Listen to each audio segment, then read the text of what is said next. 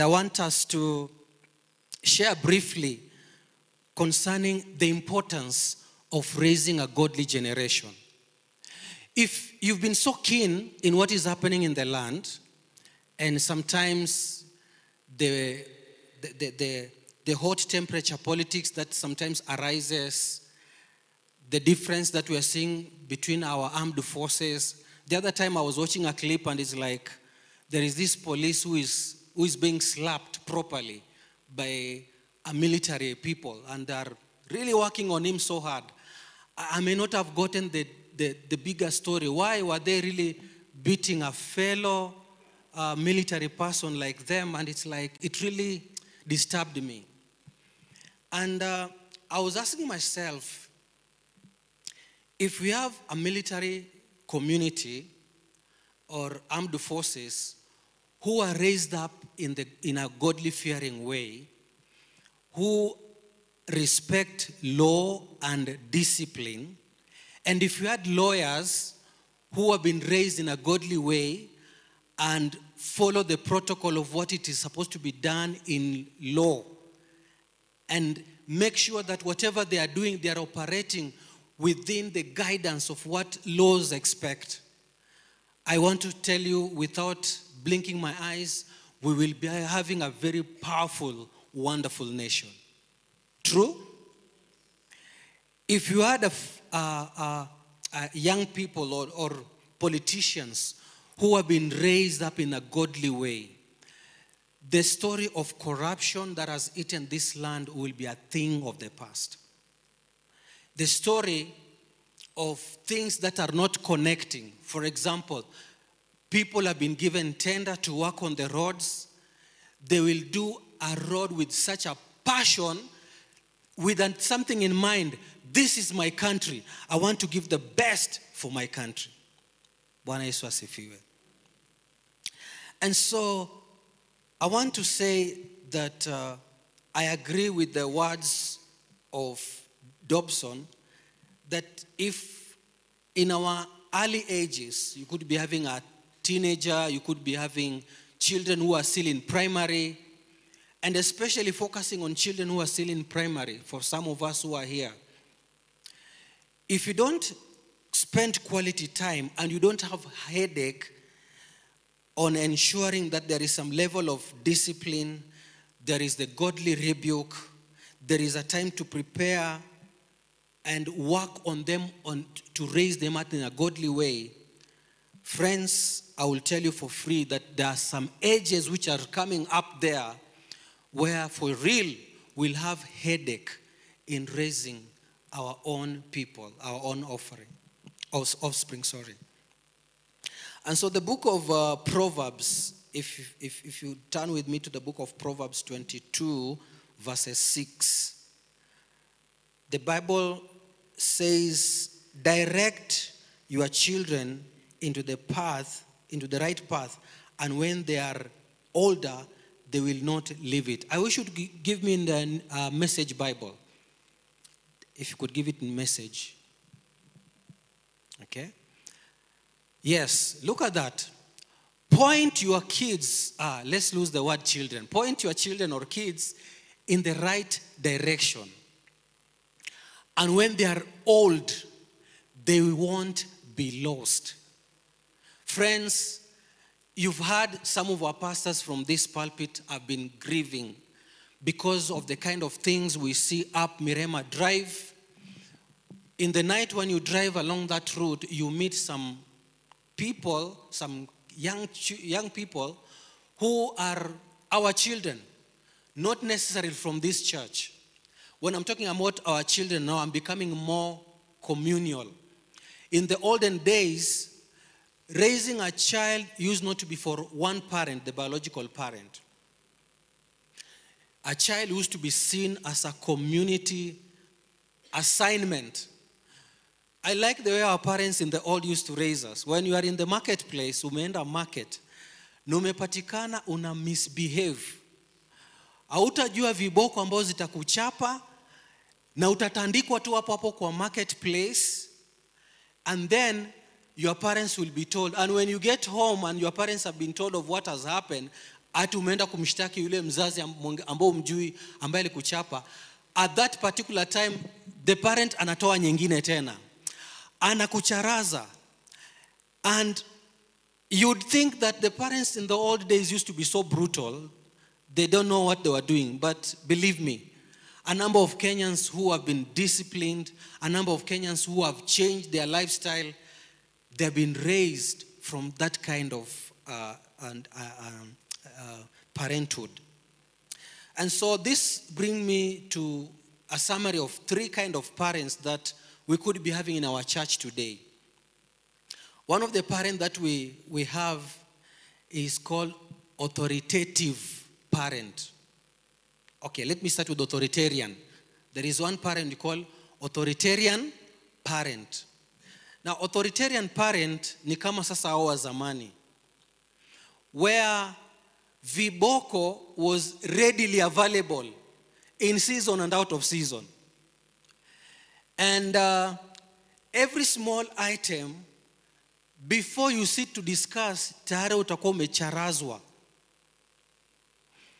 and they used to be so militant in the way they disciplined their children the authoritarian parent their yes is yes and their no is no they were so firm in what they want to see happening in their family and to some extent you'll really some of us who are brought up in such kind of a situation you would appreciate these parents for the work they did in our lives to bring us this far. And so training is not easy. To be an authoritarian parent in this generation is not that easy. We are living at a times when we have given so much room for debate with our sons and daughters until that aspect of discipline is felt but from a distance. The other type of parent, and, and just before I finish that, uh, most of the kids who have been raised by authoritarian parents, there are some characters that you can talk about them. One, in school or even the places they work, there is high level of discipline. They are orderly. They walk upright. When they mean to love the Lord, they mean it. Hakuna jokes beside it. When you are seeing children who have been raised by authoritarian parents, you'd see a discipline, an example of uh, somebody who has been employing the discipline uh, in, in the military forces. They keep order. They follow command without questioning. And there is something that we're going to talk about behind that kind of level of discipline. The other type of uh, uh, parent is authoritative. Remember, authoritarian does not have room for debate. Kama ni mbaya, ni mbaya. Kama ni kiboko, ni kiboko. They don't have time for debate. But authoritative parent, okay, they, they, are, they, are, they are tough. They practice what you call tough love. And in it, they make sure that you, the children that are raised within them have some level of discipline. They are also very orderly. One thing that uh, I've noticed with the time, their level of spiritual growth can also be seen. They grow, they have passion for godliness. Anything that matters to raise them and to bring them closer to God is seen. When authoritative parent says, time up, it's devotional time, nobody questions, everybody is seated in the sitting room, and it is time to break the word. And one thing I like about authoritarian parent, authoritative parent, they are, they, they are, they are continuous in what they stand for. They don't change rules because of emotional difference. They feel like, mm, huyu nataka kumurumia leo. They are so consistent in what they want to see happening in the life of their family members and in the life of their children. And so This is what Solomon in the book Luke chapter 2 is telling us. Uh, no, sorry, in Proverbs 22, verses 6 tells us that train up a child in the way he should grow, and uh, when he is old, he will not depart from it. And I pray that that truth will work through our lives as parents. The last type of a parent that I want to highlight this morning is a parent you call permissive parent. Permissive parent. Now, permissive parent is this parent whom we could call easygoing. Everything a child asks is, yes, yes, mommy, I'll give you. Yes, daddy, I'll give you. A permissive parent will not question. He knows this young man who is living under his roof, who is not paying rent, but comes home late and does not want to be asked where they have come from.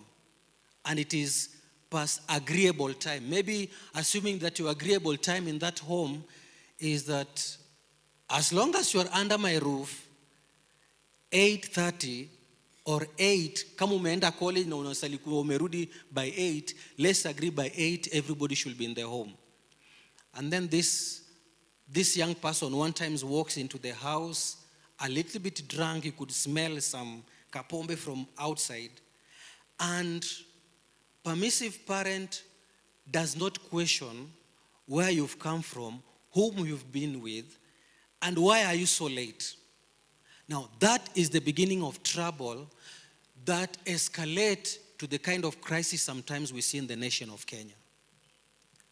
And I would not blame some things that we see in the young people. I will start by me as a parent. I will ask myself that tough question Am I a permissive parent? Permissive parents are easygoing. When they have kids who are still young, they have gone for a fellowship. And I want to, to give this as an, uh, as, as, a, an, as an example. That you've gone for a ladies' fellowship or you have visited a home, and then the child that has been given leeway by a permissive parent start misbehaving kwa wageni. Unapata ameingia kwa, kwa drawer ya watu, ameanza kutoa vikombe akiangusha. And then you go toto unafanya nini? Now that is a permissive parent. In old days in our time authoritarian parent utajua hautajua viboko zimekuland juu yako hata kama wewe ni mdogo mpaka you toe the line at a tender age permissive parents have really contributed a lot towards some of the mistakes we are seeing in the life of young people. And I want us to pray that we are going to arise and come out of a situation we call permissive parenting. One thing that I've noticed with children who have been raised up by permissive parents, number one, they are rude. They can be rude. Wanaweza kakujibu kikitu mpaka kushanga ala have you watched your age and you've compared with the person that you are talking to they don't care what is your age. Permissive kids who have been raised up from a permissive kind of setup. Permissive children do not think that, they always think that everything is for their benefit. Sacrificing to do something for somebody else is a tall order. And that's what happens with some people that have been raised from a permissive parenting situation. And so, in all these things, Percy, what are you saying? I'm saying, let's look at the example of Jesus. He was also a child at one particular point, and he was raised by parents.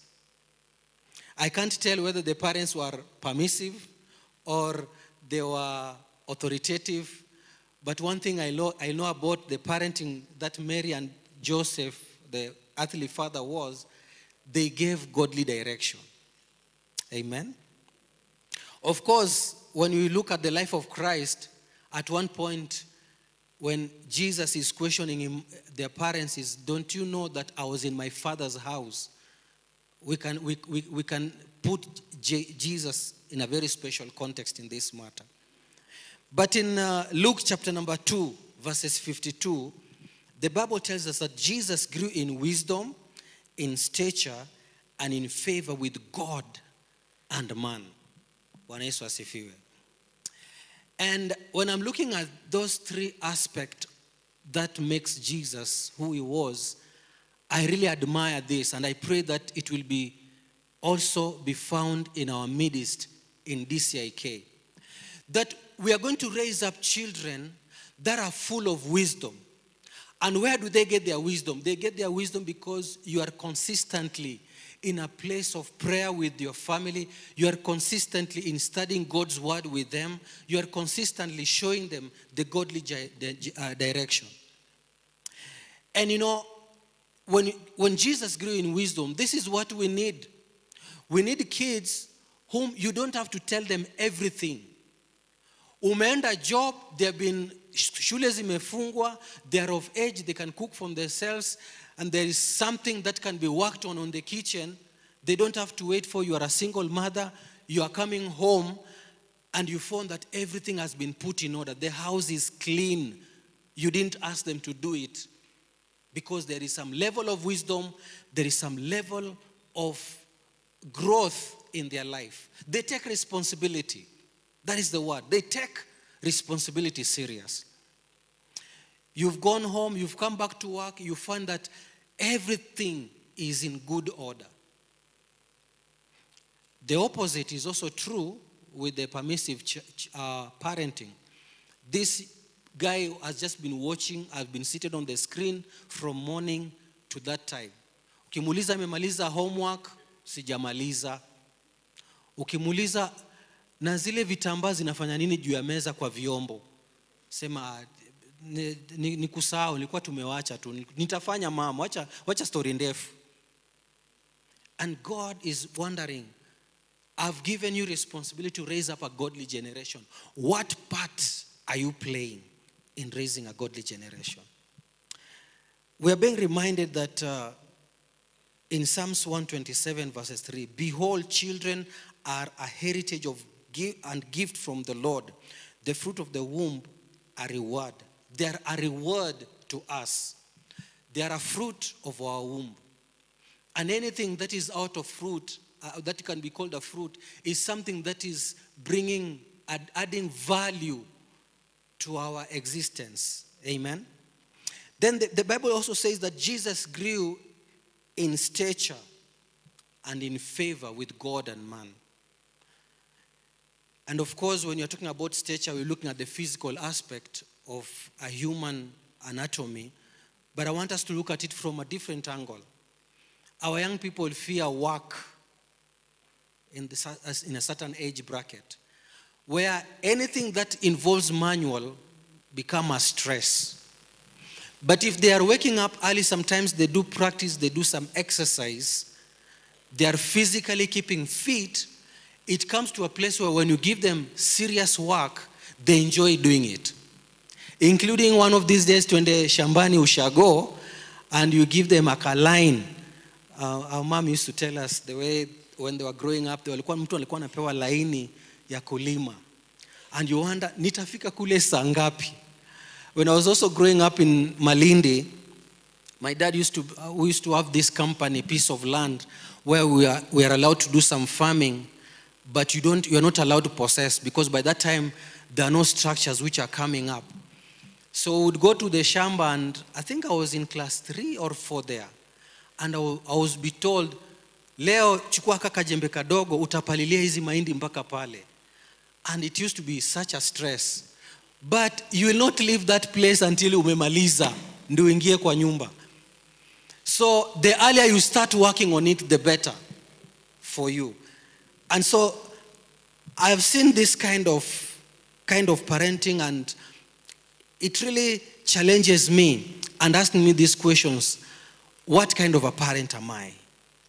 Can I rejoice with my children to say they are, a, they are heritage, they are a gift that God has given me? And so, for some of us who are still young parents, there is room. There is room for change. There is room to start working on how we're raising up our children. And there is room to start doing it now before it is too late. And so, I've been asking myself then, how do we raise a godly generation?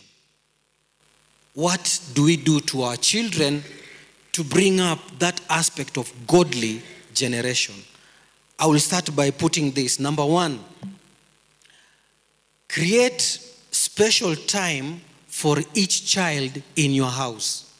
Create special time for each child in your house. You have four children, two boys and two girls, or you have three boys and one girl.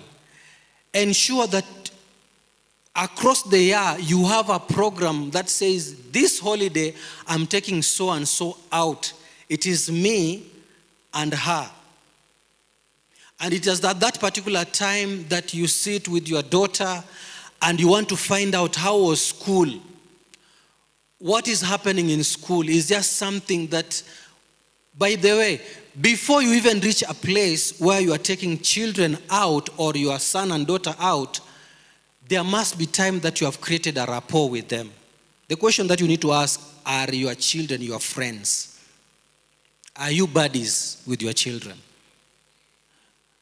When was the last time you just decided, uh, Njuguna, I want to take you out for lunch?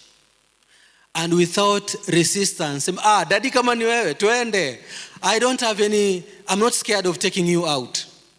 Lakini there are some situation you will start asking, and, and then they start asking, Are you sure you, it's you who is taking me out? You of all. Aye, maze kama ni mao let me think twice. It becomes a challenge. So the question is, how free are we with our children as they are growing up?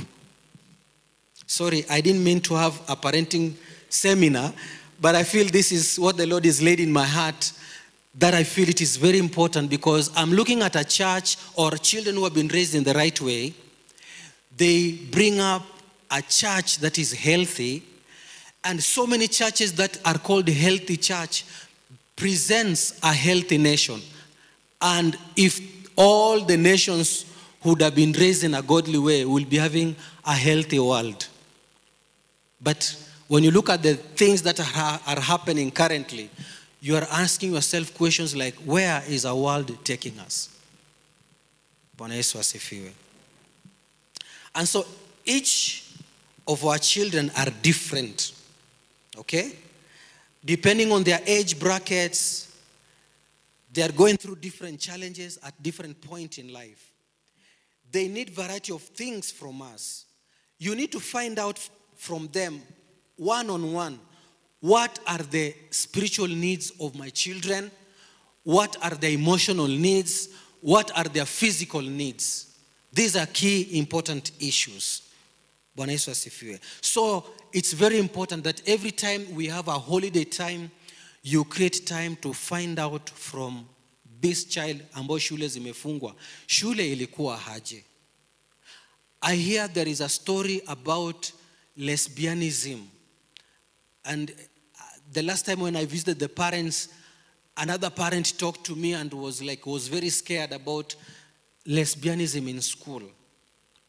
How has it affected you? Does it affect you? Do you know what, it's, what is happening in your school? And those are the moments a free child will tell you the truth of what is happening on the ground. You'll have a point to pray for. You'll have a reason to where you need to walk with this young man or this young person. Bwana Yesu asifiwe. But when they come, you are so busy, you don't have time for them. It's good to make money, and we're all looking for it.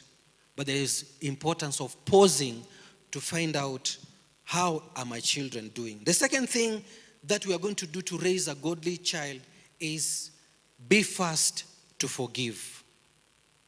Forgivement, forgiving is an art that needs to be developed from a tender age. And the more a, as a parent you'll be so broken to say enyewe hapa i shouted at you I brushed you wrong style, and I'm sorry that this happened. We can be friends. The child is growing with a very safe and secure environment and feeling like, yeah, at least I have a parent who can reason with me, who is so human to realize that there are things that sometimes we say or do that hurt our children. And on in Ephesians chapter number six, I know as parents we like talking about children, obey your parents in the Lord, for this is right. And verse 2, um, thank you. Honor your father and mother, which is the first commandment with a promise, that it may be well with you and you may live long on earth. Verse 4. And you fathers, I would also put you parents, you mothers, do not provoke your children to wrath, but bring them up in the training, in admonition of the Lord. Bwana asifiwe. And so that verse 4 is what brings me brings this point. There are moments when out of our emotional challenge, maybe kuna tu vile accounts zimekataa, hiyo budget haingiani, alafu umekuja home kama uko na fire.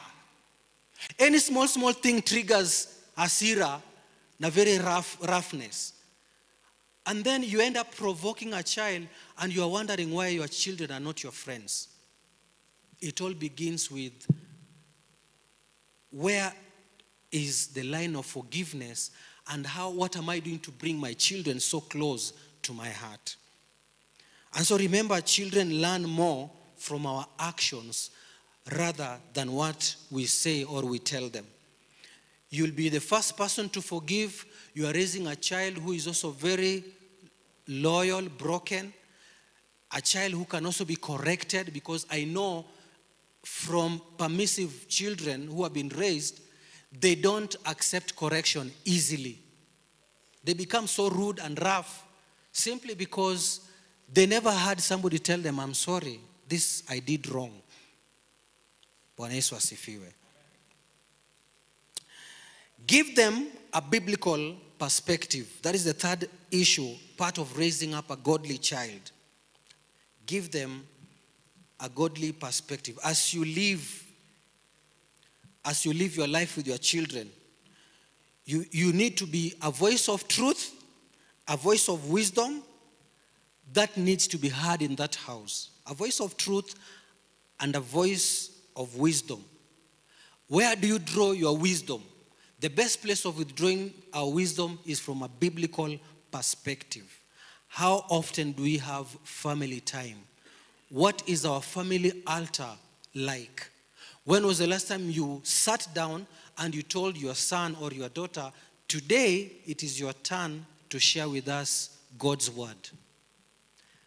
And now, because you are doing it randomly, everybody is like, Hey, I need to think seriously in the morning because I might be told this evening that I'm the one who is sharing.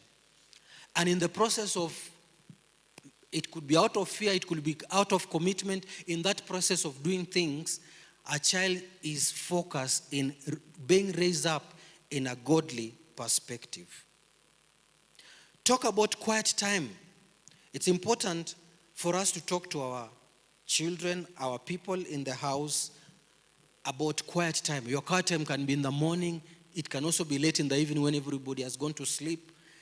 There is that opportunity that you are telling this son, this daughter, hey, by the way, you know that God speaks. Is there a time where you freely felt that God spoke a word to you? And those are the moments you tell them.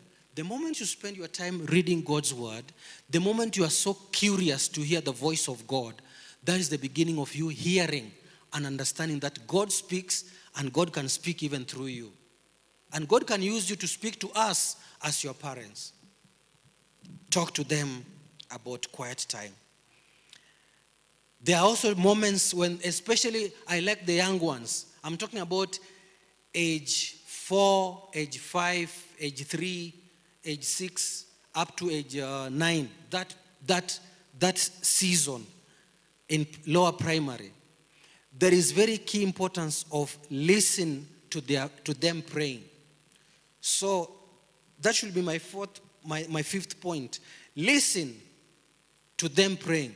As they are praying, you are hearing the issues of their heart. You can actually easily tell my daughter, my son has reached this level of spiritual growth because from what they are praying, I'm, I'm hearing somebody who is re- maturing. I'm hearing somebody who is becoming godly. I'm hearing the fear of the Lord that is taking place in the life of my son or my daughter. Listen to them pray. And so when your child needs attention from you over something, as a parent, you need to stop being busy and you pay attention to this son or daughter. Number six, bless them frequently as possible. Raising a godly child.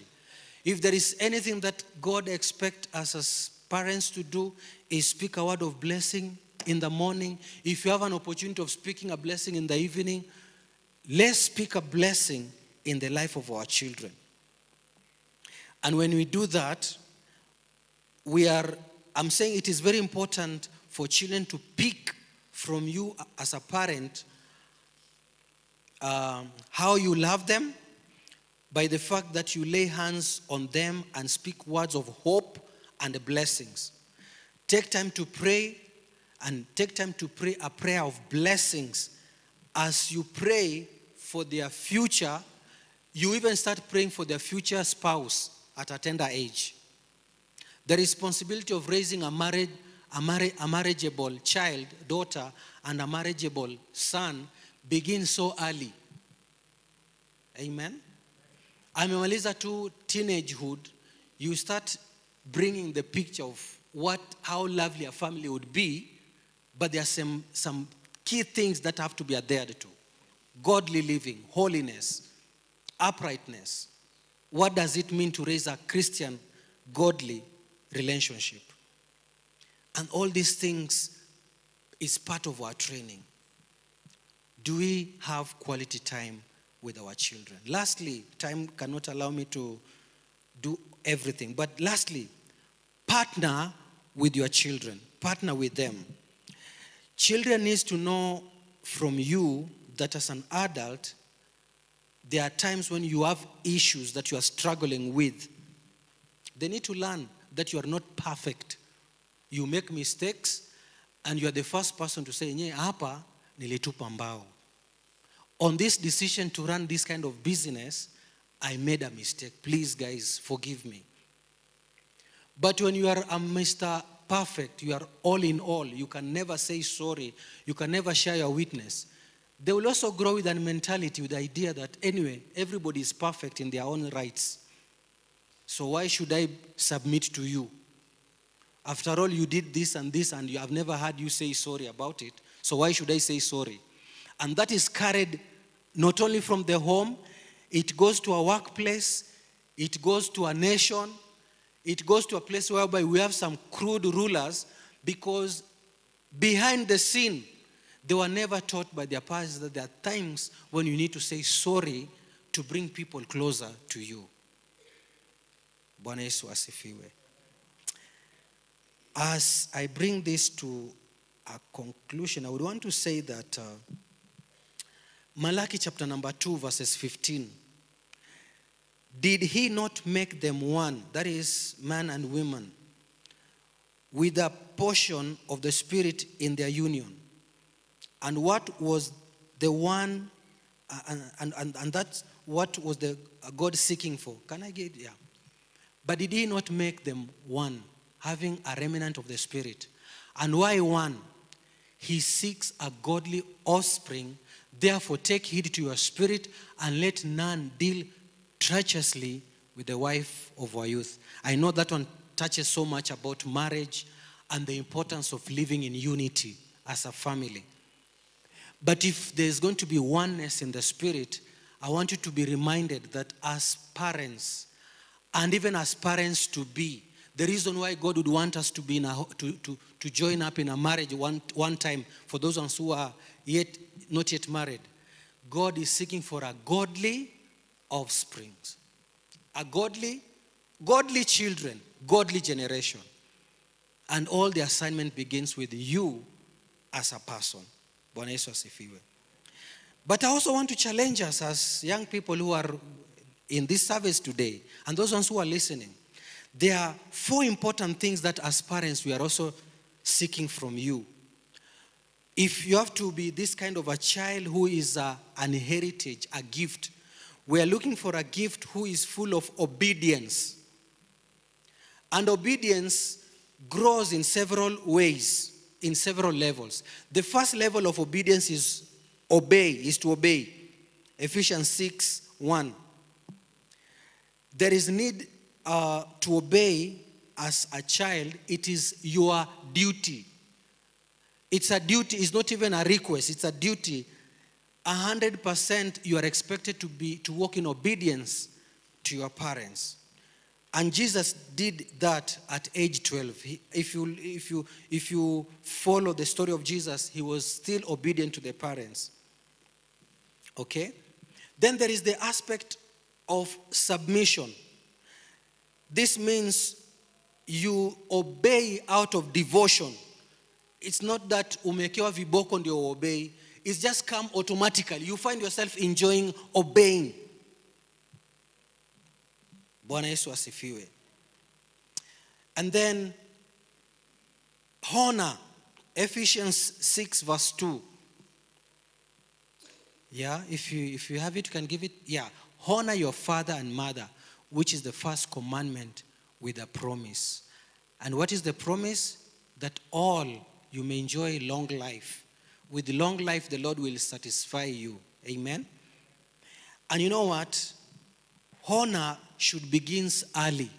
And for the young people who are in the house this morning and the children who might be watching this, I would want to say that moment dad ametoka job na kiatu kikuna matope especially wakati wa rain season alafu ameweka kiatu hapo nje honor will push you to pick those shoes clean them so thoroughly put them so nice and put them back in order until mzazi akitafuta mtu ambaye kubariki sema eh, na wewe umekuwa ukinibariki this, this time my shoes are always neat.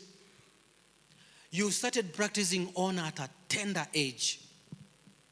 And that honor will be seen and it is your for you i would want to say it is your time for planting honor. When your time comes you are a parent and you are aging honor will still go back to you because time will also coming for you to reap what you've planted. And the last thing that i want to say is in out, act of obedience in growing discipline. Discipline of children should be intended right from primary it's something that works on their character training and part of rebuking and chastening and scoring scourging or rather caning should be done with some order.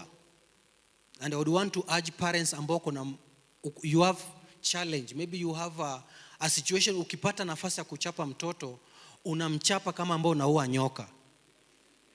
Now the moment you start beating your child as if you are killing a snake you are losing it. They will not respect you. You will struggle for that honor and that honor will never come. But when you you you bring and you say come let's reason together. We had agreed that you did this and you did this. What is your punishment on that? We had agreed that this is the time to arrive at home but you are becoming at this time what is your punishment for that? You don't allow them so much to choose their punishment but you also choose a punishment that is humanly acceptable. And in the process we are raising a generation that is full of discipline a generation that loves god a generation that when you are when every time is over you can look back and say i'm proud of my son. I'm proud of my child i want to wind it up by this quote from charles haddon spurgeon. Charles in his book one time says let no christian parents fall into the delusion that sunday school or children ministry is intended to ease them of their personal duties. The first and the most natural condition of things is for Christian parents to train up their own children in, and in, in the process of nurturing and admission of the Lord. So, what are we, Spurgeon is, is simply saying is that, uh, hey, guys, Sunday school teachers and children workers are only coming to supplement what you are supposed to have been doing at home. Bwana Yesu. They are only coming to do what? To supplement. But God has so much expectation from you. You do it so well so that when your time is over, you've left a legacy that will be remembered to have raised a godly generation. Father, we thank you for your word. We thank you that your word is life. How I pray that God, as we grow, you will teach us to love you. And you'll teach us how to do it and how to perfect the act of raising a godly generation. Would your word continue to work through our lives as we seek you? May we find you and may you teach us how to do it. It's not easy, but it is possible with you when you have taken charge and you have taken control of our lives. This I pray in Jesus' name. Amen. The Lord bless you. The Lord bless His word.